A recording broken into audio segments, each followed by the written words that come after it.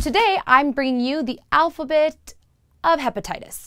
Sorry if you're expecting something else. The thing is that is that there's hep A, B, C, D, E, and some of them are sexually transmitted. So it's important to differentiate what, what each hepatitis is.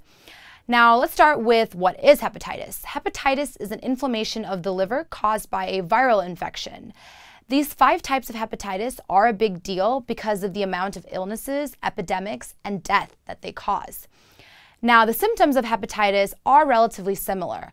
Uh, fever, nausea, vomiting, joint pain, jaundice, loss of appetite, and more. So without further ado, here is my handy dandy study guide of all things hepatitis.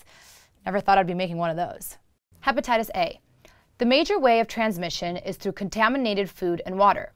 In fact, Hep A is primarily associated with dirty water and poor sanitation. Symptoms generally take about two to three weeks to show up. However, it's rarely fatal and there is a Hep A vaccine. Hep B. Unlike A, it is not spread through contaminated food or water.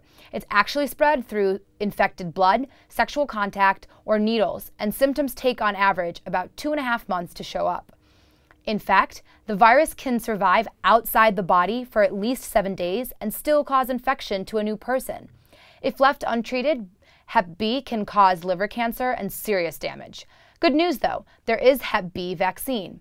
Also, 90% of the people infected usually recover within six months. C. C is spread primarily through coming into contact with infected blood transfusion, sharing needles, and being born to a Hep C mother. Symptoms can take anywhere between two to six months to show up, and 80% of cases don't even have symptoms. However, there are antiviral drugs to take care of this. Unfortunately, no vaccine. Hep D. Well, to get you to D, you must already have Hep B. Therefore, it is spread from sexual contact or blood. No vaccine or treatment is available, so prevention is essential. E. Again, E is primarily through water and contaminated food. Symptoms take about 40 days to show up. Unlike A, there is no vaccine, though it's not fatal. Remember, prevention is always better than treatment, so be careful of the sanitation around the food and water you drink. So that was all things hepatitis from A to E. See what I did there? Uh, anyways, guys, if you want more information about hepatitis or you know really anything else, email me SMS me, and subscribe. See you guys later.